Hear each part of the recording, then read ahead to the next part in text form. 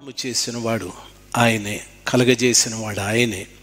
కాబట్టి సూర్యుడు కానీ చంద్రుడు కానీ నక్షత్రములు కానీ కాలము కానీ సమయము కానీ భూమి ప్రతి ఒక్కటి కూడా ఆయన మూలంగా కలిగాది ఆయన లేకుండా ఏదీ కలగలేదు. అందుకని ప్రతి ఒక్కటి ప్రభుల వారికి తెలుసు. ప్రభుల వారు భవిష్యత్తును గురించి మాట్లాడుతూ ఆయన శిష్యులకు అనేకమైన విషయాలు చెప్తూ వచ్చాడు. ఆయన శిష్యులు ఒక్క రోజున ప్రభా మీ రాజ్యం ఎప్పుడొస్తుంది? అని అడిగితే ఆయన కొన్ని సూచనలు చెప్పాడు. ఆ సూచనలు చెప్పి నా రాకడ లేక నా రాజ్యం అనేది తండ్రికి ఒక్కడికే తెలుసు నాకు తెలియదు అని చెప్పాడు. ప్రియులరా దానికి సంబంధించిన కొన్ని విషయాలు. ఈ రోజున లూకాసు వార్త ఇరవై ఒకటవ అధ్యాయం. ముప్పై మొదటి వచనం నుండి ముప్పై ఆరో వచనం వరకు ముప్పై ఎనిమిదో వచనం వరకు కొన్ని విషయాలు మనము ధ్యానించుటకు ప్రభు సహాయం చేయని. ఇందులో దరిదాపు ఒకటవ వచనం నుండి ముప్పై ఎనిమిదో వచనం వరకు ఎనిమిది ప్రత్యేకమైన కార్యాలను గుర్చి చెప్పబడి ఉంది. ఆ ఎనిమిది కార్యాలు గుర్చి మీతో ఒక్కొక్కటే మాట్లాడుటకు ప్రభు నాకు సహాయం చేయని. మొదటి వచనం నుండి నాలుగో వచనం వరకు ప్రభుల వారు ఒక దేవాలయంలో ఆయన బోధించి ప్రక్కకు వెళ్ళి కానుక పెట్టే వైపు చూస్తూ ఉన్నాడు ఆయన చాలామంది ధనవంతులు వారి సమృద్ధిని బట్టి అందులో కానుక వేస్తూ ఉన్నారు. ఒక బీద విధవరాలు అందరికంటే ఎక్కువ వేసిందని చెప్పాడు. వారందరూ తమకు కలిగిన సమృద్ధిలో నుండి కానుకలు వేశారు కానీ ఈమె తన లేమిలో కలిగిన జీవనం అంతయు వేసిందని వారితో చెప్పాది. ఆ దినమున దేవాలయానికి ఎంతమంది వచ్చారో ఆ దేవాలయానికి వచ్చిన వారికి అందరికీ యేసు ప్రభుల వారు తానేమి బోధించాడో కానీ ఆ రోజున కానుక గురించి ప్రభుల వారు అందరికీ చెప్పాడు. ఆ కానుక ఈమె ఎక్కువ వేసింది అంటూనే ఆమెను చాలామంది చూసి ఉంటారు. ఆమెకు సరైన దుస్తులుండవు నాగరికత కలిగిన మనిషి కాదు చాలా పేదరాలు తన స్థితి అందరికీ తెలిసి ఉంటుంది. అందరూ అనుకున్నారు ఈమె ఎక్కువగా ఏం వేసేది చాలామంది అనుకుంటారు నువ్వెంత వేసావు నేనెంత వేసాను అనేటటువంటివి కూడా మాట్లాడుకుంటారు. ఆ ఎక్కువ వేసిన వారు నాకంటే ఎక్కువ వేసిందా ఈవిడ? అని కూడా అనుకో ఉంటారు. అయితే ఒక్కటి గమనించాలి. కానుక అనేది ప్రాముఖ్యమైందే. దేవునికి మనం ఇచ్చేటటువంటి కానుక చాలా ప్రశస్తమైంది.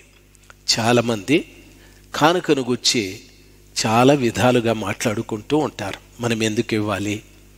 ఇస్తే ఆ సేవకుడి కదా ఇచ్చేది. ఆయనకేమి ఈయనకేమని మాట్లాడుకుంటారు. అయితే కానుక ఎందుకు ఇవ్వాలి అంటే ఒక్క ఉదాహరణ. మీకు చాలా పర్యాలు భక్తులు చెప్పుంటారు.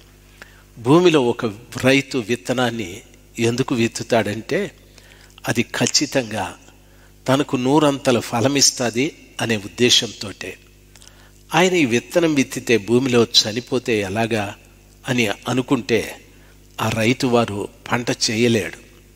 ఆ రైతు వారికి ఫలసాయం రాదు. అదే రీతిగా దేవుని నమ్ముకున్నటువంటి బిడ్డ అభివృద్ధి కావాలంటే ఖచ్చితంగా కానుక ఇవ్వాలి. కానుక అనేటటువంటిది భూమిలో వేసిన విత్తనము లాంటిది. ఆ భూమిలో ఒకే విత్తనం పడి మొలకెత్తి అది చెట్టై అనేక ఫలాలు ఇస్తుంది. అదే రీతిగా ప్రభువుకిచ్చే కానుక నిన్ను ఫలవంతునిగా చేస్తుంది. మెండుగా నువ్వు దీవించబడతావు. ఆ రీతిగా ఎలాగివ్వాలి కానుక అంటే ప్రభు చెప్పాడు ఆమె లేమిలో తనకు కలిగిన జీవనం అంతయు వేసనని వారితో చెప్పాడు అంటాడు. గమనించాలి. జీతం వేసేది వేరు జీవనం వేసేది వేరు. ప్రియులరా మనము దేవునికి కానుకిచ్చేటప్పుడు జీవనం వేయాలి. అంటే నీ జీవనానికి ఆధారమైంది దేవునికి ఇచ్చేటట్టు ఉండాలి నీ జీతమో నీ రాబడో లేకపోతే ఏదో కాకుండా నీ జీవనం ఇచ్చేటట్టుగా నీవు ఉండాలి రెండవ కార్యం ఐదవ వచనం నుండి తొమ్మిదవ వచనం వరకు చదువుకున్నట్లయితే వారు ఏం చేశారంటే ఎరుషులేము దేవాలయాన్ని చూస్తూ అందమైన రాళ్ళతో వారు ఈ దేవాలయాన్ని నిర్మాణం చేశారు. దేవాలయాన్ని గురించి మాట్లాడుకొనుచుండగా ఆయన ఈ కట్టడములు మీరు చూచుచున్నారే వాటిలో రాతి మీద రాయి ఉండకుండా అవి పడద్రోయబడు దినములు వచ్చుచున్నవని చెప్పాడు. అప్పుడు వారు బోధకుడు అలాగైతే ఇవి ఎప్పుడు జరుగుతాయి? అని అడిగారు.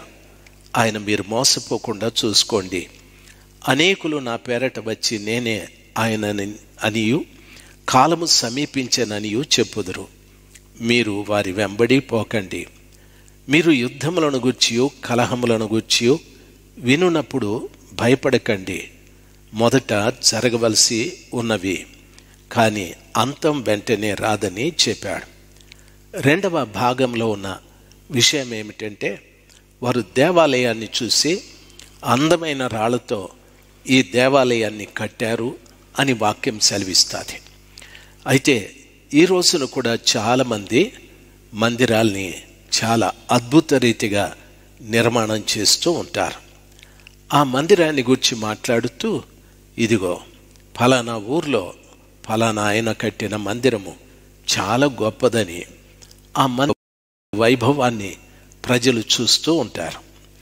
ఆయన కంటే ఇంకొక ఆయన ఇంకా గొప్పగా కడతారు. ఆయన కంటే ఇంకొక ఆయన ఇంకా గొప్పగా మందిరాన్ని కడతారు. మందిరం ఎందుకంటే మనుషులు కూడుకొని ప్రార్థించటానికి కానీ ఆ మనుషులు కూడుకొని ప్రార్థించుకోవటానికి మందిరం వైభవంగా కట్టాల్సిన అగత్యం లేదు. అయితే ప్రియులర గమనించాల్సింది. దేవుడు కోరుకునే మందిరం మానవ హృదయం అని చెప్తాడు. రెండవది ఈ కట్టడాలన్నీ కూడా ఏదో ఒక్క రోజున కూలిపోయేటివే. కూలిపోయేటివి పాడైపోయే వాటికి ఎంతో డబ్బు హెచ్చించి ఆ రీతిగా మందిరాలను నిర్మాణము చేయకూడదు. ప్రభు ఆ రీతిగా చెప్పాడు. వాళ్ళు ఇంకొక మాట అంటున్నారు. అయ్యా ఇదిగో ఇవన్నీ ఎప్పుడు జరుగుతాయి అని అడిగినప్పుడు ఆయన అంటున్నాడు మీరు మోసపో అనని. అనగా దాని అర్థం ఏమిటంటే చాలామంది ప్రభుని నమ్ముకున్నటువంటి బిడలు మోసపోతారు. ఎలాగ మోసపోతారంటే చూడండి ఆయన పేరట అనేకులు వచ్చి నేనే ఆయన అని అంటారు. ఈ రోజుల్లో కూడా చాలామంది యేసుప్రభుల వారికి సంబంధించి ఇలాగ చెప్తూ ఉంటారు. దేవుడు నాకే ఈ వరం ఇచ్చాడు. నాకే ఈ తలాంతి ఇచ్చాడు. నాకే ఈ కృప ఇచ్చాడు అనని ప్రజలను మోసం చేస్తూ ఉంటారు. ప్రజల్ని మోసం చేయడం అంటే వారు ఆత్మీయంగా ఎదగకుండా వారు ఎలాగున్నారో అలాగే ఉండేటట్టు. వారు ప్రభుకి ప్రభుని సమీ సమీపించకుండా వారు ఎక్కడున్నారో అక్కడే ఉన్నట్లు.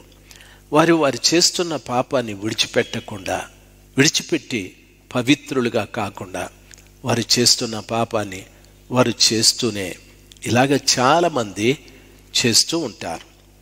ఈ మధ్యన ఒక గ్రామంలో ఒక పట్టణంలో ఒక ఆమె ప్రభుని నమ్ముకుంది. ఆమె బైబిల్ బాగా చదివింది. బైబిల్లో వచనాలు కంఠస్థం ఆమెకి. ఆ పట్టణంలో ఏ సేవకుడు కూడా ఆమె కంఠస్థం చేసినట్లు ఎవరూ చేయలేదు. అయితే ఆమె క్రైస్తవ్యాన్ని ప్రజలకు ఎంత సులభంగా బోధించేదంటే మీరు మీరు ప్రభుని నమ్ముకోనండి చాలు. మీరు విగ్రహాలు తీసేయాల్సిన పని లేదు. మీ బొట్టు తీసేయాల్సిన పని లేదు. మీ ఆచారాలు వదిలిపెట్టాల్సిన పని లేదు. అయితే యేసు ప్రభుని సొంత రక్షకుడిగా అంగీకరించండి. బాప్తిసం తీసుకోండి. మీవి ఎలాగుంటాయో అలాగే ఉండని అన్నట్టు ఆమె ప్రజలకు బోధిస్తూ వచ్చాది. ఆమె దగ్గరికి చాలామందే వెళుతున్నారు. ప్రియులరా గమనించాలి. ఇది మోసం కాదంటారా? దేవుని నమ్ముకున్న బిడలకు బోధించవలసిన సత్యం వారు నడవలసినటువంటి ఒక నిజమైన మార్గం వారికి బోధించకుండా వారికి అనుకూలమైన బోధలు బోధించే ఆమె కాదు. ఎంతోమంది బోధకులు ఉన్నారు రెండవది దేవుని యొక్క వాక్యాన్ని వంకరగా బోధిస్తూ ఎన్నో తప్పుడు సిద్ధాంతాలు ఆచారాలు ప్రజలకి బోధిస్తూ ఉన్నారు. మోసం కాదంటారా? కాబట్టి ఆ విధంగా కాకుండా ఒక సత్యమైనటువంటి బోధ ప్రజలకు బోధించి వారిని ప్రభుకి సమీపస్తునిగా తీసుకురావాలి. యేసు ప్రభుతో పాటు వారు సహవాసాన్ని కలిగి ఆయనతో పాటు జీవించేవారుగా ఉండాలి. సహవాసానికి వెళుతున్న ఈ బోధ వింటున్న ప్రజలైన మీకు నా మనవి. మీరు సంఘానికి వెళ్ళేటప్పుడు మీరు ఎవరితో సహవాసం చేస్తున్నారు? ఆ మందిరంతోనా? లేక సేవకుడితోనా? లేక ఆ మందిరంలో ఉండే ఆ గొప్ప దేవునితోనా? ఆ సేవకుడు బోధించే యేసుతోనా? లేదు చాలామంది నేను ఆ మందిరానికి పుట్టినప్పటి నుండి వెళుతున్నాను. ఏ మందిరానికి వెళ్ళనంటారు రెండవది ఆ సేవకుడంటే నాకు చాలా అభిమానం. నా ప్రాణం నాకు చాలా ప్రేమ. ఇలాగ చెప్తారు గోడలను మనిషిని ఎంతోమంది నమ్ముకొని నిజమైన దేవునికి దూరమైపోతూ ఉన్నారు. ఆ కారణాన మోసపోలేదంటారా? అందుకే ప్రభు చెప్పాడు మోసపోకండి అనేకులు నా పేరిట వస్తారు. వారు మిమ్మల్ని మోసం చేస్తారు అని చెప్పారు. మీరు యుద్ధములను గుర్చియు కలహములను గుర్చియు వినినప్పుడు జడియకండి. మొదట ఇవి జరగాలి. యేసు ప్రభుల వారి రాకడకు ముందు ప్రభుల వారు ఏమంటున్నారంటే ఆ దేవాలయాలు నిర్మాణం చేస్తారు. రెండవది అనేకులు నా పేరటొచ్చి నేనే ఆయన్నని మోసం చేస్తారు. తర్వాత యుద్ధాలు గురించి మీరు వింటారు. ఆ తర్వాత కలహములు కూడా ఉంటాయి పోట్లాట్లు కూడా ఉంటాయి. కాబట్టి మీరు చెడియకూడదు. ఇవన్నీ కూడా మొదట జరగాలి అని ప్రభు చెప్తున్నాడు. యుద్ధాలను గుర్చి యుద్ధ సమాచారములను గుర్చి కలహములు అన్నాడు. కలహాలు ఎవరికి? యుద్ధం అంటే ఈ దేశం ఆ దేశం. కలహాలు ఎవరికి? నీ కుటుంబంలోనే. నీ కుటుంబంలో వారే నీతో కలహపడచ్చు. నువ్వు యేసుప్రభుల వారిని నమ్ముకున్నావు మా ఇంట్లో నుండి వెళ్ళిపోమని చెప్పచ్చు. లేక నీ గ్రామస్తులే నీకు వ్యతిరేకం కావచ్చు. లేక నీ ప- గ్రామంలో ఉన్న ఆ కులస్తులు ఈ కులస్తులకు వ్యతిరేకులు కావచ్చు. కలహాలు ఉంటాయి. అయితే జడియకూడదు భయపడకూడదు. ప్రభు రా ప్రభు ఇవన్నీ కూడా జరుగుతాయి కాబట్టి అంతం వెంటనే రాదు. ఇవన్నీ కూడా ప్రభువు చెప్పిన సూచనలు. ఇవన్నీ జరుగుతూ ఉన్నాయి. ప్రియులరా మూడవది ప్రభు రాకడికి ముందు జరిగే కార్యాలను గురించి మాట్లాడుతూ పదవ వచనం నుండి ఆ ప్రభుల వారు ఈ రీతిగా చెప్పాడు. ఆయన పదవచనం నుండి ఇరవై నాలుగో వచనం వరకు ఈ విషయాలు చెప్తూ వచ్చాడు. ఆయన ఏమంటాడంటే జనము మీదికి జనం రాజ్యం మీదికి రాజ్యము లేస్తుంది. అక్కడక్కడ గొప్ప భూకంపాలు జరుగుతాయి. తెగుళ్ళు కరువులు తటస్థిస్తాయి. ఆకాశము నుండి మహా భయోత్పాతములను గొప్ప సూచనలను పుట్టును. ఇవి జరగక మునుపు వారు మిమ్మను బలత్కారముగా పట్టి నా నామము నిమిత్తము మిమ్మను రాజుల యొద్దకును అధికారుల యొద్దకును తీసుకొని పోయి సమాజ మందిరములకును చెరసాలకును అప్పగించి హింసిస్తారు అంటారు. నువ్వు చెరసాలకు పోవటానికి నేరమేమీ చేయక్కర్లేదు. నీవు ప్రజల అధికారుల దగ్గరికి వెళ్ళి తీర్పు తీర్చటానికి న్యాయము జరిగించటానికి నువ్వేమీ నేరం చేయాల్సిన పని లేదు. ప్రభుని నమ్ముకున్న కారణాన ఇవి జరుగుతాయి. ఆ దినాలు ఎలాగుంటాయంటే జనం మీదికి జనం. రాజ్యం మీదికి రాజ్యం. భూకంపాలు పెద్ద పెద్ద భూకంపాలు వస్తాయి. ఆకాశంలో భయోత్పాతాన్ని పుట్టించే గొప్ప సూచనలు పుడతాయి. ఇదివరకే స్కైలాబ్ అని కొందరు ఒక తెలియని ఒక గ్రహము సూర్యుని ఢీకొడుతుందని ఒకసారి భూమిని ఢీకొడుతుందని ఒకసారి ఇలాగ ఎన్నో భయోత్పాతాన్ని పుట్టించేటటువంటి కార్యాలు ఆకాశంలో జరుగుతాయని చెప్పారు. అయితే అవి చెప్పారు కానీ జరగలేదు కదా. అయితే ఇప్పుడు ఖచ్చితంగా జరుగుతాయి. యుద్ధాలు వస్తాయి. పెద్ద పెద్ద భూకంపాలు వస్తాయి. ఈ భూకంపం వచ్చినప్పుడు ఢిల్లీ ఒక్కసారిగా కనిపించకపోవచ్చు. బెంగళూరు ఒక్కసారిగా కనిపించకపోవచ్చు. ఓ ఒక్కసారి మదనపల్లి కనిపించకపోవచ్చు. అటువంటి పెద్ద భూకంపాలు వస్తాయి.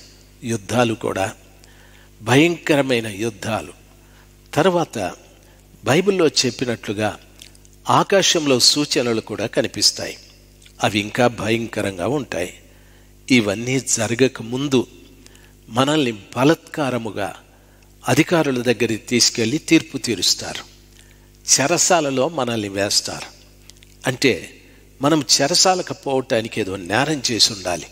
దొంగతనమో హత్యో ఎవరైనా కొట్టో ఏదో ఒకటి జరిగి ఉండాలి అటువంటిదేమీ లేదు.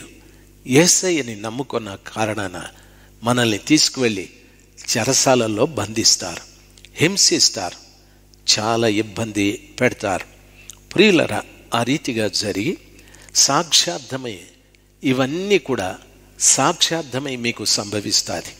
కాబట్టి మేమేమి సమాధానము చెప్పుదమా అని ముందుగా చింతించద్దండి. అంటే ఎందుకు ఇవన్నీ జరుగుతాయంటే రాబోయే కాలంలో ప్రజల కొరకు మీరు సాక్షిగా నిలబడాలి. ఏసయ్యని నేను సొంత రక్షకుడుగా అంగీకరించిన కారణాన నాకు ఎటువంటి ఇబ్బందులు జరిగాయి. అయినా నేను ప్రభుని నమ్ముకున్నాను. ప్రభునందు విశ్వాసం నేను విడిచిపెట్టలేదు. అయితే ప్రభుత్వాలు కానీ పరిపాలకులు కానీ నన్నేమీ చేయలేదని ప్రజలకు సాక్ష్యం చెప్పటానికి ఎదుటివన్నీ ఆత్మీయంగా బలపరచటానికి ఇవన్నీ జరుగుతాయి అని చెప్పారు. ఆ రీతిగా చెప్పి ఏమంటాడంటే ఇతరుల దగ్గరికి అధికారుల దగ్గరికి వెళ్ళినప్పుడు మేమేమి సమాధానం చెప్పాలి అని మీరు చింతించద్దు. మీ మనసులో ఇది చెప్పాలని నిశ్చయించుకోవద్దు. మీ విరోధులందరూ ఎదురాడుటకును కాదనుటకును వీలు కాని వాక్కును జ్ఞానమును నేను మీకు అనుగ్రహించును అంటాడు. అంటే దాని అర్థము మన విరోధులు కానీ మనతో ఎదురాడి పోరాడేవాడు కానీ నీ నోటి నుండి వచ్చేటటువంటి జవాబు కాదనటానికి వీలు లేనంత జ్ఞానము దేవుడు మనకు దయచేస్తాడని ప్రభుల వారు అంటారు. కాబట్టి మనల్ని ఎదురాడేవారు ఉంటారు. నిష్కారణంగా మనకు చాలామంది విరోధులు అవుతారు కారణమే లేదు. ఆ రీతిగా ఎదురాడేవారు ఈ విరోధులు వీళ్ళందరి ఎదుట నిలబడాల్సి వస్తుంది. అధికారుల యొద్ద దోషులుగా నిలబడి చెరసాలలో వేయబడతాం. మనల్ని హింసిస్తారు అవమానిస్తారు కొడతారు కూడా. ఇవన్నీ కూడా ప్రభు రాకడకు సూచనలని ప్రభు సెలవిస్తాడు. తర్వాత ఏమంటారో తెలుసా? తల్లిదండ్రుల చేతను సహోదరుల చేతను బంధువుల చేతను స్నేహితుల చేతను మీరు అప్పగింపబడుదురు అని అంటారు. ఏసయ్యని నమ్ముకున్నటువంటి నిన్ను అప్పగించేవారు ఎవరో తెలుసా? నీ తల్లిదండ్రులే అప్పగిస్తారని చెప్తారు. మరి చాలామంది తల్లి అంటే ఇష్టం తండ్రి అంటే ఇష్టం బంధువులంటే ఇష్టం స్నేహితులంటే ఇష్టం ఈ రీతిగా చాలామంది తల్లి తండ్రి బంధువులు అని ఈ ప్రీతి కలిగి ఉంటారు. యేసు ప్రభు రాకడలో పరిస్థితులు ఎలాగుంటాయంటే ఏ తల్లి ఏ సహోదరులు ఏ బంధువులు ఏ స్నేహితులని మనము వారిని మక్కువగా ప్రేమించామో వాళ్ళే మనల్ని చెరసాలకు అప్పగిస్తారని చెప్తారు అధికారులకు అప్పగిస్తారని చెప్తారు. ప్రియులరా అందుకని ప్రభు చెప్పిన మాట నాకంటే మీరు దేనినైనా ఎక్కువగా ప్రేమిస్తే అది రెక్కలు ధరించి మీ మధ్య నుండి ఎగిరి వెళ్ళిపోతుంది. కాబట్టి నన్ను ప్రేమించమని ప్రభుల వారు సెలవిచ్చారు. భూమి మీద మనకున్న సంబంధాల కంటే పరలోకంలో మనకున్న దేవుడే చాలా చక్కటి సంబంధం. ఆయనతో మనం సహవాసం చేయుట వలన వీటన్నిటి నుండి కూడా వీటన్నింటిని ఎదుర్కొనటానికి కావలసిన శక్తిని కావలసిన విశ్వాసాన్ని కావలసిన జ్ఞానమును దేవుడు మనకు దయచేస్తాడు. ప్రియులారా వాక్యం ఈ రీతిగా సెలవిస్తుంది. నా నామము నిమిత్తము మనుషులందరి చేత మీరు ద్వేషింపబడతారు కానీ తల వెంట్రుకల్లో ఒకటైనా నశింపదు. మీరు మీ ఓర్పు చేత మీ ప్రాణములను దక్కించుకుంటారు అని చెప్పాడు. ప్రియులర గమనించాలి. ఇవన్నీ జరిగేటప్పుడు మనకు కావాల్సింది ఏమిటంటే ఓర్పు. ఎవరిని గురించి కూడా నిన్ను అప్పగించిన వారిని నిందించిన వారిని అవమానించిన వారిని హింసించిన వారు లెక్కలేనంతమంది నీకెదురుగా నిలబడతారు. ఆ సమయంలో నీకు కావాల్సింది ఓర్పు. ఎవరేం చేసినా ఓర్పు కలిగి మనముంటే అప్పుడు మన ప్రాణాల్ని దక్కించుకుంటాం. ఓర్పు లేక కాస్త మనము తిరుగుబాటు చేస్తే మనం ప్రాణం పోగొట్టుకునే పరిస్థితులు ఏర్పడతాయి. ఒక పర్యాయము ఒక దైవ సేవకుడు. ఆయన యేసు ప్రభు సువార్తల్ని ఏర్పాటు చేసి ఆయన వాల్ పోస్టర్లో ఒక బొమ్మను చిత్రీకరించాడు.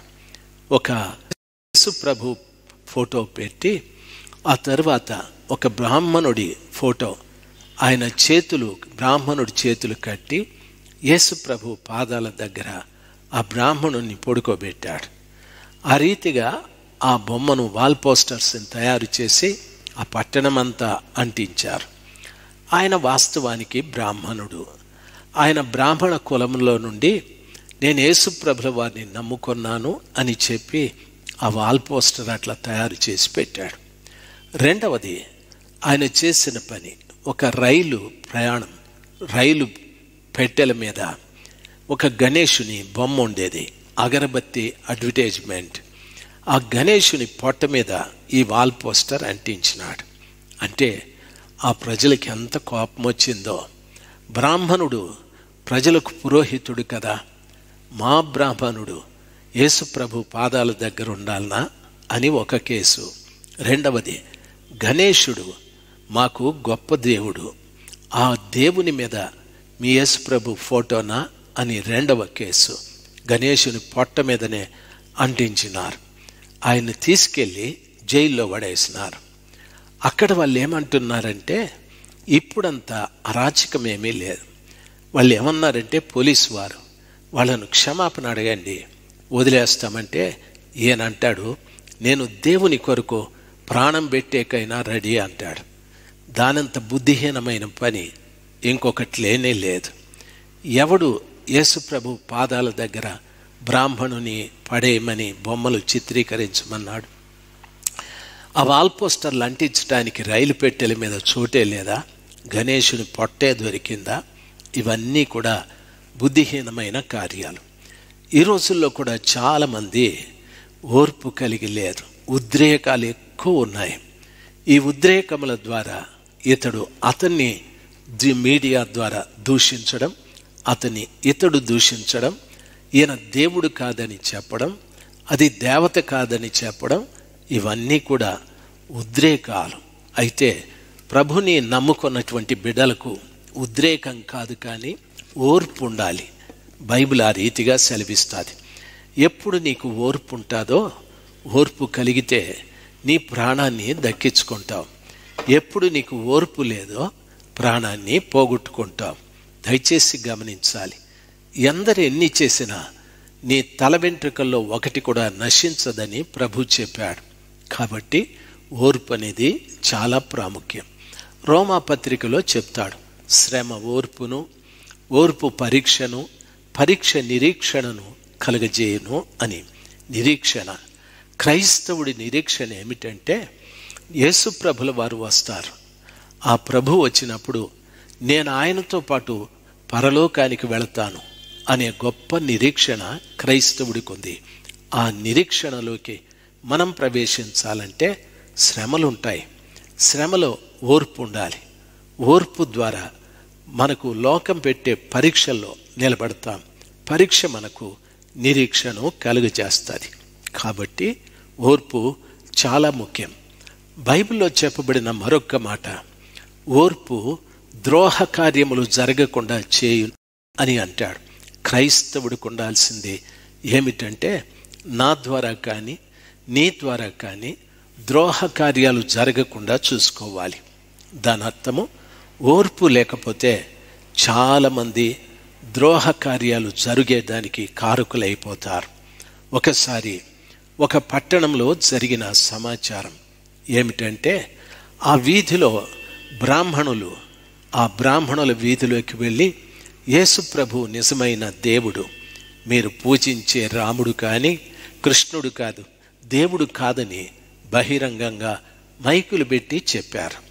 అక్కడ వాళ్ళు చాలా సున్నితంగా చెప్పారు. మీరు చెప్పుకోవటానికి చాలా స్థలాలు ఉన్నాయి. వెళ్ళండి. ఇక్కడెందుకు చెప్తారు? అని అన్నారు. ఆ మాటతో మన వారికి బుద్ధి ఉంటే అక్కడి నుండి బయటకు వచ్చేసేవాళ్ళు లేదు మాకు ప్రభుత్వము హక్కు ఇచ్చేది అని మొండిగా వాళ్ళు మాట్లాడితే వాళ్ళు ఏం చేశారంటే నాలుగు చితకబాదారు. చితకబాది పోలీసులకు కబురు చేస్తే వాళ్ళు తీసుకెళ్ళి జైల్లో పడేశారు. జైల్లో పడేసి వారు మత దూషణ చేశారు అనేటటువంటి పేరుతో నాన్ బేలబుల్ కేసు పెట్టి బెయిల్ లేకుండా చేశారు. మూడు నెలలు అయ్యాది ఆరు నెలలు అయ్యాది సంవత్సరం అయ్యాది జైల్లోనే ఉన్నాడు. ఇప్పుడు ఆయన దగ్గరికి వెళితే ఒక్కడు కాదు ఆ పాస్టరు వాళ్ళ దగ్గర ప్రకటించిన వాళ్ళందరూ కూడాను. అక్కడికి వెళ్తే అప్పుడు ఏడుస్తూ ఉన్నారు మా పెళ్ళామేమైందో మా పిల్లలు ఏమైనారో అయ్యో మా కుటుంబాలు ఏమైనాయో అనని. దయచేసి వినాల్సింది. యేసు ప్రభుని ప్రకటించే వాళ్ళకు ఓర్పు అవసరం కానీ ఉద్రేకాలు అవసరం కాదు. యేసు ప్రభుని ప్రకటించటానికి ఏది అనుకూలమైన స్థలమో అది ముఖ్యం కానీ అనానుకూలమైన స్థలాలు ముఖ్యం కాదు. కాబట్టి ప్రభు చెప్పిన మాట ఏమంటే మీరు పాముల వలె వివేకంగాను పావురముల వలె నిష్కపటులయ్యి ఉండండి. వివేకంగా ఉండండి. అవివేకంగా మీరు వెళితే నేను మాత్రం ఏం చేయగలను? వివేకంగా ఉంటేనే ప్రభు మనకేమైనా చేస్తాడు. నిష్కపటులుగా ఉంటేనే ప్రభు మనకేమైనా చేస్తాడు. ఓర్పు కలిగి ఉంటేనే ప్రభు మనకేమైనా చేస్తాడు. అంతేకాని ఉద్రేకాలతో ఏ కార్యమూ జరగదు. తరువాత ప్రభు ఒక కాలాన్ని గురించి చెప్తాడు. ఒకటి కానుక గురించి. రెండు దేవాలయాన్ని గురించి. మూడు జరగబోయే సూచనల గురించి. నాలుగవది ఏమిటంటే ప్రతిదండన కాలము అని చెప్పబడింది. ఆ ప్రతిదండన కాలం అంటే దేవునికి భిన్నంగా దేవునికి వ్యతిరేకంగా దేవుని పరుస్తూ ఆయాసపరుస్తూ జీవిస్తున్నటువంటి ప్రజలకు ఆ కాలము దండనా కాలం ప్రతిదండనా కాలం. తాము చేసిన దానికి ప్రతిగా ప్రభు దండించబోతూ ఉన్నాడు. ఆ కాలం ఆ రీతిగా ఉంటుంది. చూడండి ఎరుషులేము దండ్ల చేత చుట్టబడుట మీరు చూచున్నప్పుడు దాని నాశనము సమీపమై ఉన్నదని తెలుసుకోండి. ఎరుషులేము పట్టణం పవిత్రమైన స్థలం. ప్రపంచానికి తెలుసు ఇజ్రాయేలీయుల దేవుడైన యహోవా ఎరుషులేములో ఉన్నాడు. ఆయన దేవాలయం ఎరుషులేములో ఉంది. అక్కడ యాజకులున్నారు శాస్త్రులున్నారు పరిశీయులున్నారు దేవునికి ప్రతిరూపమైన ఉపకరణాలన్నీ కూడా ఆ దేవాలయంలో ఉన్నాయి.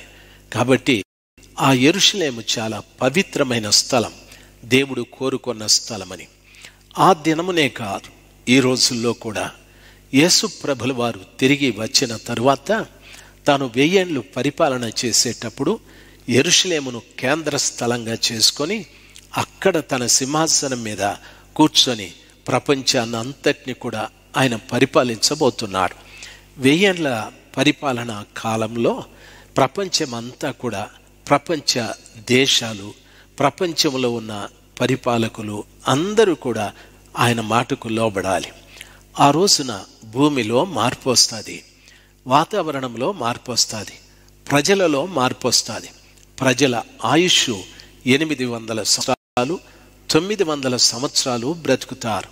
భూమి నూటికి నూరు పాళ్ళు సారవంతమై చక్కటి పంటలు పండుతాయి. ఆ తరువాత ఋతువులు ఋతుపవనాలు వాటి వాటి కాలములో వచ్చి చక్కటి వర్షాలు ఇస్తాయి. ఎక్కడ యుద్ధాలు ఉండవు ఎక్కడ అరాచకాలు ఉండవు ఎక్కడ పోట్లాటలు ఉండవు ఆ దినమున సింహము ఎద్దు కలిసి గడ్డి మేసుకుంటూ ఉంటాయి. ఆ దినమున మిడి మిడినాగు పసిబిడ్డ ఇద్దరు ఆడుకుంటూ ఉంటారు. చూడండి ఆ రోజులు అంత ప్రశాంతంగాను అంత చక్కగా ఉంటాయి. అయితే అటువంటి ఎరుషులేం దేవుడు కేంద్రస్థానముగా చేసుకొని వెయ్యేళ్ళు పరిపాలన చేసే ఆ ఎరుషులేము పట్టణాన్ని దేవుడే దేవునికి ప్రతిరూపమైన ఉపకరణాలున్న ఆ ఎరుషులేము పట్టణం చుట్టూ యుద్ధాన్ని యుద్ధం చేయటానికి శత్రువుల దండ్లు మోగుతాయి. శత్రువులు దాని చుట్టూ వస్తారు. వచ్చి ఏం జరుగుతుందో తెలుసా? దాన్ని నాశనం చేసే పరిస్థితులు ఏర్పడతాయి. అప్పుడు యోదయాలో ఉండువారు కొండలకు పారిపోతారు. దాని మధ్య నుండి వారు వెలుపలికి వెళ్ళిపోతారు. పల్లెటూళ్ళలో ఉన్నవారు కూడా దానిలో ప్రవేశించలేరు. లేఖనంలో వ్రాయబడినట్లు ఇవన్నీ నెరవేరుటకై అది ప్రతిదండన దినములు అని చెప్పాడు. ఎరుషులేముకిని యోదయ వారికిని ప్రతిదండన దినాలు. ఈ రోజున ఆలోచించాల్సింది ఈరోజు కూడా ప్రభుని నమ్ముకొని మా సొంత రక్షకుడని చెప్పుకుంటున్న ప్రతి ఒక్క వ్యక్తి వినాలి. మేము పుట్టుకతో క్రైస్తవులు. మేము మా తాతల కాలం నుండి క్రైస్తవులు. మేము వేరే మతం నుండి మారి ఈ మతంలోకి వచ్చాం అనేవాళ్ళు కొందరు. అయ్యలారా మతం అనేది లేదు. మతానికి సరైన నిర్వచనం విశ్వాసము అని అర్థం. దేన్నైనా మనం విశ్వసిస్తే ఆ విశ్వసించిన దానికి దాన్ని స్థిరపరచటానికి కొన్ని ఆచారాలు కొన్ని సాంప్రదాయాలు కొన్ని సిద్ధాంతాలను ఏర్పాటు చేసుకుంటాం. దానికి మతము అని అంటారు కానీ మతానికి నిర్వచనం విశ్వాసమని. అయితే క్రైస్తవ్యం మతం కాదు. చాలామంది అంటారు. మేము హిందూ మతం నుండి క్రైస్తవ మతం లేకొచ్చాము. సిక్కు మతం నుండి క్రైస్తవ మతం లేకొచ్చాము.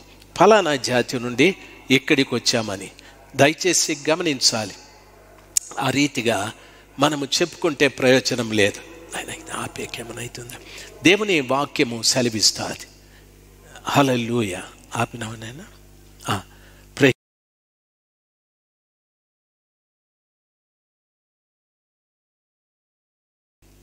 లో చెప్పబడిన ఈ రోజున మతాలు మార్చటానికి ప్రభు రాలేదు. యేసు ప్రభు వచ్చింది ఎందుకంటే ఆ కృపగల దేవుడు పాపులను వెతికి రక్షించటానికి వచ్చాడు. ఈరోజు ఆ మతం ఈ మతం అని చెప్పి చాలామంది మతాన్ని వదలలేదు కానీ యేసు ప్రభులు వారిని మాత్రము రక్షకుడిగా అంగీకరిస్తారు. తప్పండి ఆ రీతిగా చేయకూడదు. దేవుని పిల్లలుగా ఒక స్వచ్ఛధనం నీకుండాలి. ప్రభు కొరకు ఏదైనా మనం వదిలిపెట్టేటట్టుగా ఏదైనా మనము దాన్ని నిరాకరించేటట్టుగా మనం ఉండాలి. అందుకని చాలామంది ప్రభుని నమ్ముకొని ఇంకా ఇష్టానుసారమైన జీవితం జీవిస్తున్నవారు బోలెడంతమంది ఉన్నారు. త్రాగుబోతులు లేరా? జోదరులు లేరా? వ్యభిచారులు లేరా? హంతకులు లేరా? దుండగులు లేరా? దొంగలు లేరా? బోలెడంత మంది అయ్యలారా? ప్రభువు పేరు చెప్పుకొని ఇలాంటి కార్యములు చేయడం వల్ల దేవుడు ఒక రోజున ప్రతిదండన దినములు రాజేస్తాడు. ఆ దినమున నువ్వు ఏ మందిరములో ఉన్నా ఏ పట్టణంలో ఉన్నా ఏ బోధకుని దగ్గరున్నా దేవుడు ప్రతిదండన తీర్చుకుంటాడు. దయచేసి ఆయన ప్రతిదండన దినములు మన దగ్గరికి రాకుండా చాలా మట్టుకు మనం పవిత్రంగా జీవించటానికి నేర్చుకోవాలి. ప్రభుకి లోబడండి. దేవుని వాక్యానికి లోబడండి. దైవ సేవకునికి లోబడండి. మానక సహవాసానికి వెళ్ళండి. వాక్య ప్రకారంగా జీవించండి. ఏది పవిత్రమో దాన్ని పాటించండి. ఏది అపవిత్రమో దానికి దూరం కండి. మీ స్నేహితులు కూడా మీకంటే భక్తి కలిగిన వారై ఉండాలి. మీ కుటుంబంలో మీ తల్లిదండ్రులు కూడా భక్తి కలిగిన వ్యక్తులుగా ఉండాలి. ఆ రీతిగా ఓ చక్కటి వాతావరణాన్ని మీరే ఏర్పాటు చేసుకోవాలి. దేవుని అనంతమైన కృపను బట్టి దేవుని ప్రతిదండన దినాలలో మనము నిలబడితే దాన్ని భరించలేము కదా? దయచేసి గమనించాలి. ఒక అధికారి నేరం చేసిన వానికి తగిన ప్రతిదండన విధిస్తాడు. జైలని లేకపోతే పెనాల్టీ అని లేకపోతే ఇంకొకటని ఇంకొకటని విధిస్తాడు. అది కొంతకాలమే. దేవుని ప్రతిదండన కాలం ప్రాణం పోదు తరువాత శిక్ష తప్పదు. అంత యాతనతో కూడిన కార్యం ఆ రీతిగా లేకుండా ప్రభు పిల్లలు మారాలి. ఆ దినములు ఎలాగుండాలంటే ఎటువంటి వారికి ఇబ్బంది అంటే గర్భిణీలకును పాలిచ్చు వారికిని శ్రమ. భూమి మీద మిక్కిలి ఇబ్బందియు ఈ ప్రజల మీద కోపము వస్తుంది. వారు కత్తి బాత కోల్తారు. చెరపట్టబడిన వారై సమస్తమైన అన్యజనుల మధ్యకు పోతారు. అన్యజనములు కాలములు సంపూర్ణ మగు వరకు ఎరుషులేము అన్య జనముల చేత త్రొక్కబడుతుంది అని అన్నాడు. ఈ రోజున మా దేవుడు గొప్పవాడు. అన్ని జనుల దేవుడు తక్కువ వాడని మాట్లాడుకుంటున్న ఆ అన్య జనులే మనల్ని త్రొక్కేస్తారు.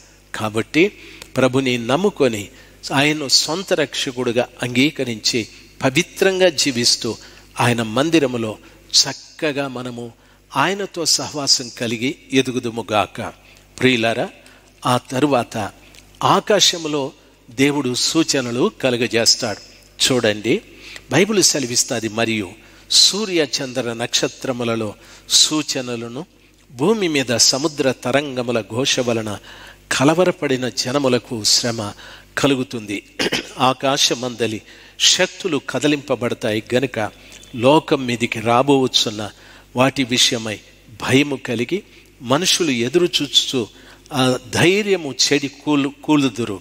అప్పుడు మనిషి కుమారుడు ప్రభావముతోనూ మహామహిమతోనూ మేఘారుడై వచ్చుట చూతురు. ఇవి జరగనారంభించినప్పుడు మీరు ధైర్యము తెచ్చుకొని మీ తలలెత్తుకొనండి. మీ విడుదల సమీపించుచున్నది అని ప్రభుల వారు సెలవిచ్చారు. యేసు ప్రభు రాకడ రేపు వస్తుంది అనక మునుపు బై బైబిల్లో చెప్పబడిన మాట ఆకాశమందిలి శక్తులు కదిలించబడతాయని. ఒకవేళ ఇప్పుడున్న సూర్యుడు కదలించబడతాడేమో చంద్రుడు కదలించబడతాడేమో బైబిల్లో చెప్పబడింది సూర్యుడు ఏమైపోతాడంటే రక్తవర్ణంగా మారిపోతాడని చంద్రుడు నలుపెక్కుతాడని ఆకాశంలో ఉన్న నక్షత్రములు అంజూరపు కాయల వలె రాలిపోతాయని ఆకాశం చాపవలే చుట్టబడుతుందని భూమి మీద ఉన్న పర్వతాలు ఒక భయపడే వ్యక్తిని బట్టి భయపడుతున్న వ్యక్తి ఎలాగ పారిపోతాడో అలాగా పర్వతాలు పారిపోతాయని. చాలా విచిత్రమైనవి.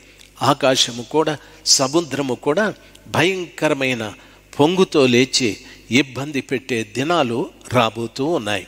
ఇవన్నీ కూడా జరిగేటప్పుడు మనం ఆలోచించవలసిన విషయం ఏమిటంటే అప్పుడు మనుషులందరూ ధైర్యము చెడిపోయి కూలిపోతూ ఉంటారు. అయ్యో ఆకాశము నుండి వచ్చేటటువంటి విపత్తులు ఎలాగ తప్పించుకోవాలి? ఈ భూమి మీద కలిగే విపత్తుల్ని ఎలాగ తప్పించుకోవాలి? ఎక్కడికి వెళితే మనకు క్షేమం అని ధైర్యము చెడిపోయి ఇబ్బంది పడుతున్న దినములలో యేసుప్రభుల వారు మేఘారుడై ఆయన వచ్చేది ప్రతి వారు కూడా చూస్తారని వాక్యం సెలవిస్తారు ఇది జరగం. ఆరంభించినప్పుడు ధైర్యము తెచ్చుకొని మీ తలలు పైకెత్తుకొనండి. మీ విడుదల సమీపించి ఉన్నది అని చెప్పాడు. ప్రియులారా ఆ దినము వరకు మనము ధైర్యంగా ఉండి మన తల ప్రభు వైపు ఆయన రాకడ వైపు ఎత్తి చూసే ఆ పరిస్థితి మనకు కలగటానికి మనం ఇంతవరకు చెప్పినట్లుగా ఒక గొప్ప భక్తి కలిగి పరిశుద్ధమైన జీవితాన్ని కలిగి చక్కటి సహవాసంతో ఓ చక్కటి ఉపదేశంతో ఓ చక్కటి వాక్యానుసారమైన జీవితము ఓ పరిశుద్ధమైన జీవితాన్ని కలిగి మనం ఉండడం ఎంతైనా మంచిది. మనం అనుకున్నట్టుగా రాబోయే రోజులు అంత సులభమైనవేవి కాదు. రాత్రి గడిచి ఉదయం అవుతుందంటే నీ గుండె ఎంతో భయం భయము చెందుతూ ఉంటారు ఎంతో జడిసిపోతూ ఉంటాడు. ఎవడు నీ శత్రువో తెలియదు. ఎవరు నిన్ను అప్పగిస్తారో తెలియదు. ఏ అధికారులకు నువ్వు అప్పగించబడతావో తెలియదు. ఏ శిక్ష నీకు విధించబడతాదో తెలియదు. ఏ యుద్ధాలు నీకు వస్తాయో ఏ యుద్ధాలు జరుగుతాయో ఆ యుద్ధముల ద్వారా ఏ విషవాయువులు నీకు వస్తాయో తెలియదు. భయంకరమైన పరిస్థితులు ఆకాశంలో ఉన్నటువంటి సూర్య చంద్ర నక్షత్రాదులు గ్రహములు ఏమేమి ఎక్- ఎలాగ జరుగుతాయో తెలియదు. భూమి దాని పరిస్థితులు ఏమవుతాయో కూడా తెలియదు. ఇటువంటి భయోత్పాతముతో కూడిన సంఘటనల మధ్యన నీవు నిలబడితే ఎలాగుంటావో ఆలోచన చేయి. ఆ భయంకరమైన పరిస్థితుల్లో తల ఎత్తుకొని మేఘారూఢుడై వస్తున్నటువంటి ఏసయ్యని చూడాలంటే నీకు కావలసిన ఓ చక్కటి సహవాసం చక్కటి భక్తి చక్కటి పరిశుద్ధత ఓ కృపగల దేవుని బిడ్డలుగా ఓర్పు కలిగి విశ్వాసంలో స్థిరులుగా నిలబడితేనే తప్ప మే మనం ఆయన ఎదుట తల ఎత్తుకుని ఆయన్ను చూస్తూ మనం విమోచింపబడే అవకాశాలు కలిగి ఉండలేం. ప్రియులరా ఆ తర్వాత ప్రభు చెప్పిన మాట ఏమిటంటే ఆయన సూచన కూడా చెప్పాడు. మరియు ఆయన వారితో ఈ ఉపమానము చెప్పి అంజూరపు వృక్షమును సమస్త వృక్షములను చూడండి. అవి చిగురించుట చూచి వసంతకాలము ఇప్పుడే సమీపమాయనని మీ అంతట మీరు తెలుసుకుంటారు కదా అటువలే మీరు ఈ సంగతులు జరుగుట చూచినప్పుడు దేవుని రాజ్యము సమీపమాయనని తెలుసుకోనండి. ఆ తరువాత అవన్నీ జరుగు వరకు ఈ తరము గతింపదని నిశ్చయముగా మీతో చెప్పుచున్నాను. ఆకాశమును భూమియు గతించును కానీ నా మాటలే మాత్రము గతించవు అని చెప్పాడు. అంజూరపు చెట్టుకు మిగిలిన చెట్లకు వే వ్యత్యాసం ఏమిటంటే అంజూరపు చెట్టు చిగురించేటప్పుడు జరిగే కార్యం ఏమిటంటే వసంతకాలము ప్రారంభమయ్యాది అని తెలుసుకుంటాం. మిగిలిన చెట్లు ఆ రీతిగా కాదు. అలాగే ఇవన్నీ జరిగేటప్పుడు దేవుని యొక్క రాజ్యము సమీపిస్తుందని తెలుసుకోనండి. ఇలాగ దేవుని రాజ్యము సమీపిస్తుందని తెలుసుకున్నప్పుడు వాక్యము సెలవిస్తుంది. చూడండి ఆకాశము గతించిపోతుంది. భూమి కూడా గతించిపోతుంది. నా మాటలు గతించవన్నాడు దాని అర్థం ఏమిటంటే గతించనటువంటి దేవుని యొక్క వాక్యం నీలో ఉంటే గతించని దేవుని వాక్యం ప్రకారంగా నువ్వు జీవిస్తే నాశనము కాని వాక్యం నిన్ను కూడా నాశనము చేయదు. విశాలమైన ఆకాశము విశాలమైన భూమిలో ఎన్ని మార్పులు జరిగినా ఎన్ని భయోత్పాతములకు సంబంధించిన సంఘటనలు జరిగినా వాక్యం నీలో ఉంటే కదలించబడవు. వాక్యము నీలో ఉంటే భయపడవు. వాక్యము నీలో ఉంటే నీవు తల ఎత్తుకొని మేఘారుడుగా వచ్చే యేసు క్రీస్తు ప్రభుల వారిని ఎదుర్కొనటానికి పరిశుద్ధత కలిగి విశ్వాసముతో ధైర్యముతో ఆయన కొరకు ఎదురు చూస్తూ ఉంటాం. ఆఖరి హెచ్చరిక బైబిల్ ఈ రీతిగా సెలవిస్తుంది. మీ హృదయములు ఒకవేళ తిండి వలనను మత్తు వలనను ఐక విచారముల వలనను మందముగా ఉన్నందున ఆ దినము అకస్మాత్తుగా మీ మీదికి ఉరి వచ్చినట్టు రాకుండా మీ విషయమై మీరు జాగ్రత్తగా ఉండండి అని చెప్పాడు. చాలామంది ఈ రోజున తిండి మత్తు ఐక విచార లోక సంబంధమైన విచారాలు బోలెడన్ని చాలామందికి మంచిగా వస్త్రాలు ధరించాలి చక్కటి ఇండ్లు ఉండాలి డబ్బు సంపాదించాలి లావిష్గా ఉండాలి మంచి ఫర్నిచర్ ఉండాలి. ఓ ఎన్నో ఐహికమైన విచార బాగా తింటుండాలి బాగా మత్తుగా ఉండాలి ఓ త్రాగాలి తినాలి. ఇలాంటివన్నీ కూడా కారణం వల్ల దేవుని యొక్క రాకేమంటుందంటే ఆ దినము అకస్మాత్తుగా మీ మీదికి ఉరి వచ్చినట్టు రాకుండా మీ విషయమై మీరే జాగ్రత్తగా ఉండండి అనని. అంటే మనం చాలామంది అనుకుంటాం వానికంటే నేనే మేలు గుడికి పోతా ఉన్నాను. వానికంటే నేనే మేలు బైబిల్ చదువుకుంటా ఉన్నాను. వానికంటే నేనే మేలు శుక్రవారం ఉపవాసం ఉన్నాను. వాడికంటే నేనే మేలు. ఈ రీతిగా పోల్చుకుంటూ ఉంటాం. అయితే ఇంకొక ఇంకొకరిని చూసి పోల్చుకోనవసరం లేదు. బైబిల్ చెప్తుంది నీ విషయమై మీరు జాగ్రత్తగా ఉండండి. ఆ దినము ఆ దినము భూమి అందంతటా నివసించు వారందరి మీదికి అకస్మాత్తుగా వచ్చును. ఎందుకు ఈ మాట చెప్తున్నాడు? అంటే ఆ దినము భూమి మీద నివసించే వారందరి మీదికి ఒకవేళ మదనపల్లిలో ఇబ్బంది వచ్చింది కాబట్టి పొంగునూరుకి వెళ్ళిపోదాం అనకచ్చు. పొంగునూరులో కాబట్టి బెంగళూరుకి అనుకోవచ్చు. బెంగళూరుకి ఇబ్బంది కాబట్టి ఓ ఢిల్లీకి వెళ్ళిపోవచ్చు. లేదు భూమి మీద అంతటా ఆ దినము ఒకటే పర్యాయము సంభవిస్తుంది ఎక్కడికి వెళ్ళినా వీలు కాని సమాచారం. కాబట్టి జరగబో వీటిని తప్పించుకొని మనుష్యకు ఎదుట నిలబడటానికి శక్తి గలవారగునట్లు అంటే మనము యోగ్యత కల్ కలిగిన వారగునట్లు ఎల్లప్పుడూ ప్రార్థన చే చేయిచు మెలకువగా ఉండండి. ఎల్లప్పుడూ ప్రార్థన చేయిచు మెలకువగా ఉండండి. ఆయన ప్రతి దినము పగటి ఎందు దేవాలయములో బోధించుచు రాత్రి వేళ ఒలివల కొండకు వెలుచు కాలము గడుపుచుండెను. ప్రజలందరూ ఆయన మాట వినుటకు దేవాలయములో ఆయన యొద్దకు పెందల కడవచ్చుచుండిరి. ఎల్లప్పుడూ ప్రార్థన చేయండి. బైబిల్ సెలవిస్తుంది. ప్రతిరోజు పగటిపూట ఆయన దేవాలయంలో వాక్యం బోధిస్తున్నాడు. ప్రతిరోజు రాత్రిపూట ఒలివల కొండకెళ్ళి ప్రార్థన చేస్తూ ఉన్నాడు. ప్రజలందరూ ఆయన మాట వినటానికి పెందల కడనే ఆయన దగ్గరికి వచ్చుచుండిరి అని వాక్యం సెలవిస్తారు. ఎల్లప్పుడూ ప్రార్థన చేయమంటే ప్రభు ప్రతి పగలు కూడా సమాజ మందిరములో బోధిస్తూ ఉన్నాడు. క్రైస్తవుడు అనబడే ప్రతి వాడు కూడా దేవుని ఎదుట నిలబడటానికి యోగ్యతని సంపాదించుకోవాలంటే వాక్యాన్ని చెప్పాలి వాక్యాన్ని చెప్పాలి వాక్యాన్ని చెప్పాలి.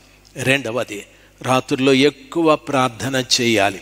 అప్పుడు వాక్యం సెలవిస్తుంది. ప్రజలందరూ కూడా ఆయన మాట వినటానికి ఆయన దగ్గరికి వచ్చారని.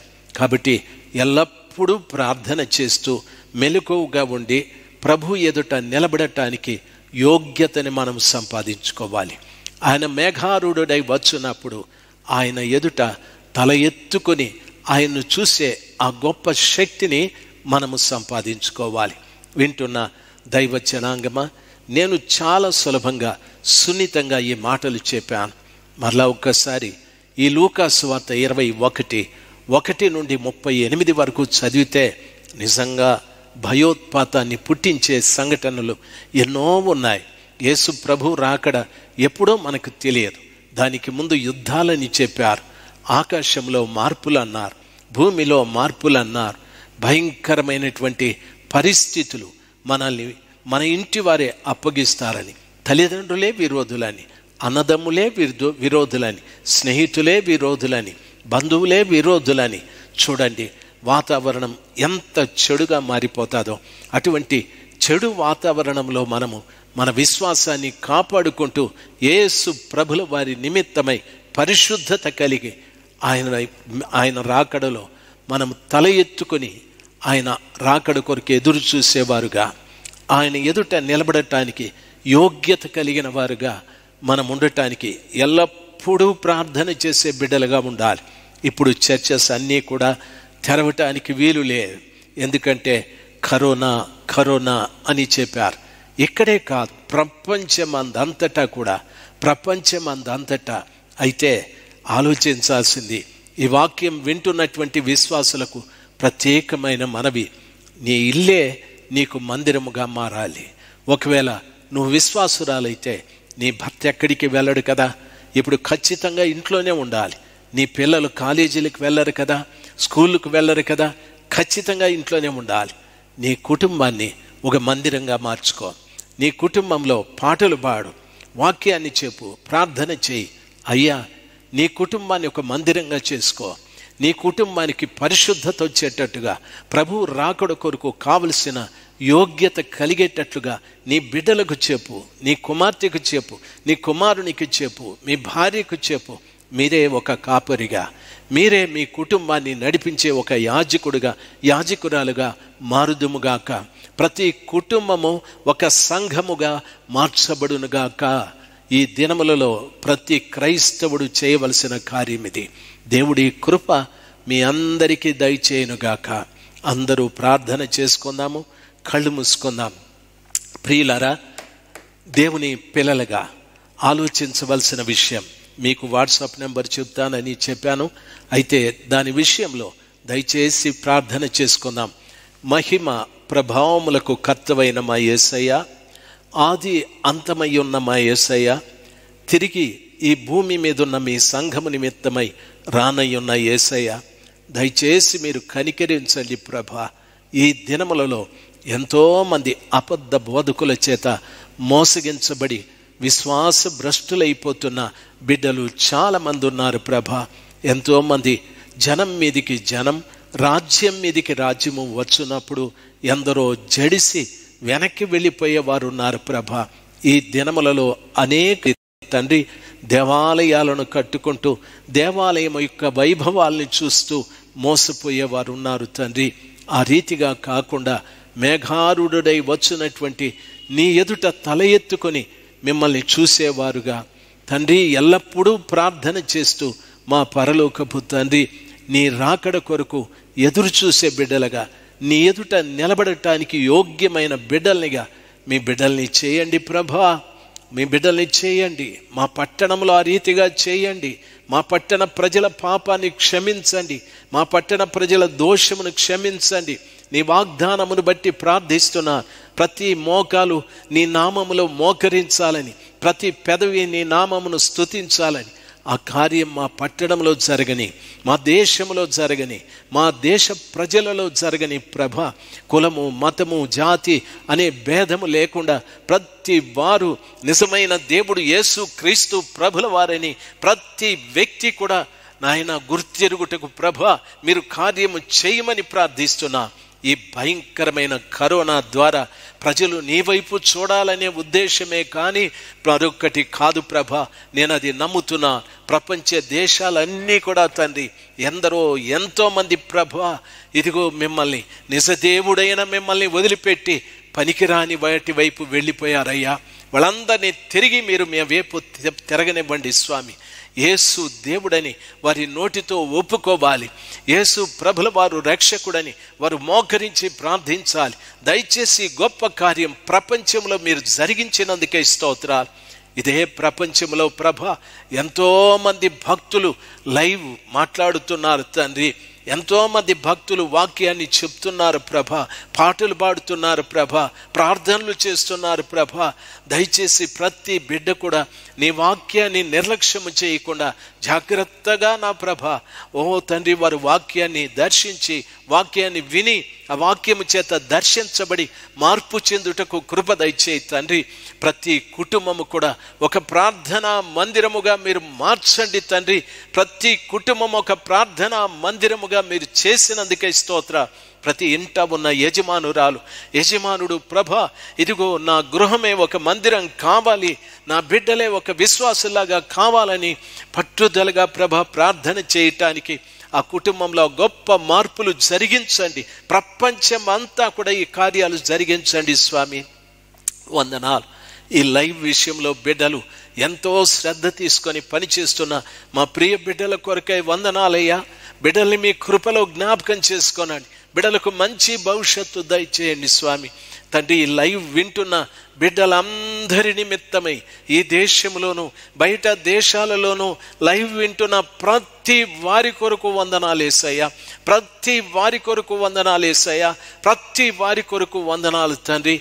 ఇదే సమయంలో పలమనేరులో పాస్టర్ వేదనాయకం గారు లైవ్ ప్రకటిస్తున్నాడు. ఇదే సమయంలో బెంగళూరులో కేపీ రాజశేఖర్ గారు లైవ్ చెప్తున్నాడయ్యా. ఇదే సమయంలో హైదరాబాద్లో పాస్టర్ జెర్మియా గార్ లైవ్లో మాట్లాడుతున్నాడయ్యా. ఇదే సమయంలో హోసన్న మినిస్ట్రీస్లో మా దైవజనులందరూ లైవ్లో వాక్యం చెప్తున్నారయ్యా.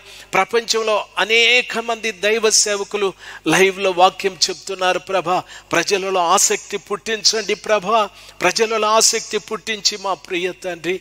అయ్యా ప్రతి వారు నీ వాక్యము చేత సంధించబడి బలపరచబడి మీ ఎదుట తల ఎత్తుకొని మీ ఆగమనములో నిలబడటానికి మీ ఎదుట నిలబడుటకు యోగ్యమైన వారుగా కావటానికి బిడ్డల్ని మీరు సిద్ధపరచండి తండ్రి.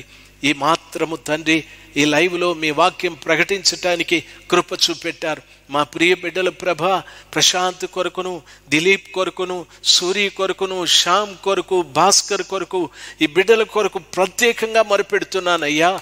ఈ బిడ్డలు కూడా నా తండ్రి ఈ దేశానికి ఉపయోగపడాలి ప్రభ.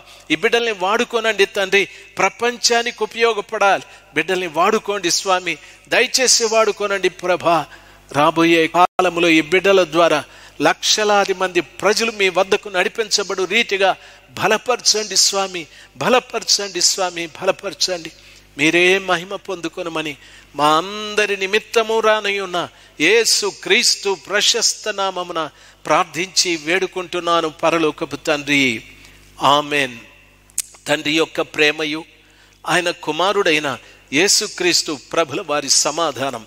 పరిశుద్ధాత్మ దేవుని యొక్క సహవాసం కూడి ఉన్న మనకును మన వారికి అందరికీ ఆయన కృప తోడుగా ఉండి నడిపించునుగాక. Amen amen. దేవుడు మిమ్మల్ని అందరినీ దీవించునుగాక. ప్రియులరా ఈ లైవ్ గురించి మీరు వింటున్నారు. ఇంకా ఎవరెవరికి తెలియదో ఈ లైవ్ను గురించి చెప్పి అందరూ వాక్యం వినేటట్టుగా దయచేసి మీరు సహాయం చేయాలని మనవి చేస్తున్నాను. ప్రతిరోజు కూడా ఆలోచించాలి. ఉదయం తొమ్మిది గంటలకి లైవ్ వస్తుంది. మీ ప్రార్థన అవసరతలు ఏవైనా ఉంటే ఈ నెంబర్కి మీరు ఫోన్ చేయండి. Nine zero five two eight five three six double nine. మళ్ళా చెప్తాను మీ ప్రార్థన అవసరం ఉంటే nine zero five two eight five three six double nine. ఈ నెంబర్కి మీరు కాల్ చేసి మీ ప్రార్థన అవసరతలు చెప్పాలని మనవి చేస్తున్నాను. రెండవది ప్రతిరోజు కూడా వాట్సాప్ ద్వారా ఆడియో మెసేజ్ పంపుతూ ఉన్నాం. ఆడియో మెసేజ్ ఆది కాండము నుండి ప్రకటన వరకు వచనం వచనంలో ఉన్న ఆత్మీయమైన సత్యాలు చెప్పడానికి అలాగ ప్రతిరోజు కూడా వాట్సాప్ ద్వారా వాక్యం వినాలి అనే ఆశ కలిగిన బిడ్డలు కూడా ఈ విషయాన్ని గమనించాలి. ఇదే నెంబర్కి nine zero five two eight five three six double nine ఈ నెంబర్ని మీ ఫోన్లో సేవ్ చేసుకోవాలి. చేసుకొని మీ పేరు ఊరు. మాకు ఆడియో మెసేజ్ పెట్టండి అని మీ పేరు ఊరితో ఈ నెంబర్కి మెసేజ్ పెట్టండి. అలాగే పెడితే రేపు ఉదయానికే మీకు వాక్యం వస్తుంది. తరువాత మీలో ఈ లైవ్ చూడటానికి మీరు ఈ రీతిగా సబ్స్క్రైబ్ చేసుకోవచ్చు. మీ యూట్యూబ్లో ఇమాన్యుయల్ మినిస్ట్రీస్ మదనపల్లి. అని కొడితే ఖచ్చితంగా ప్రతి రోజు జరిగే లైవ్ ప్రతి ఆదివారం ఉదయం జరిగే లైవ్ మీకు వస్తుంది. ఇమ్మాన్యుయల్ మినిస్ట్రీస్ మదనపల్లి అనే దాన్ని మీరు సబ్స్క్రైబ్ చేసుకుంటే మీకు ఎన్నో విలువైన సందేశాలు వినటానికి దేవుడు కృపద ఇచ్చేస్తాడు దేవుని తోడ్పాటు మీకుండునుగాక దేవుని ఆశీర్వాదం మీకు మీ కుటుంబములకు ఉండునుగాక దేవుని కృప ద్వారా మీ కుటుంబాల